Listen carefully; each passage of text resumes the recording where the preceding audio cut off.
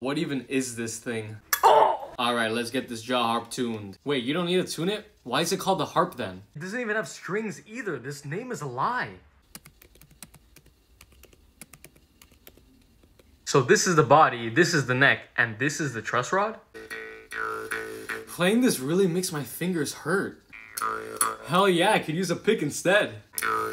I just invented the world's first ever jaw harp pick. So it's still strumming patterns then, right? Palm reading goes crazy on this. I'm low-key hella nice with it. You can't even get different notes with this thing, it's just random noises. Wait, I forgot to clean this thing before putting it in my mouth. I'm gonna throw up. Wait, will the capo still work? So it's impossible to play 035 on this, sadly. Does Marty Schwartz have jaw harp lessons? Even if I started out on harp instead of guitar, it would have made no difference in learning this.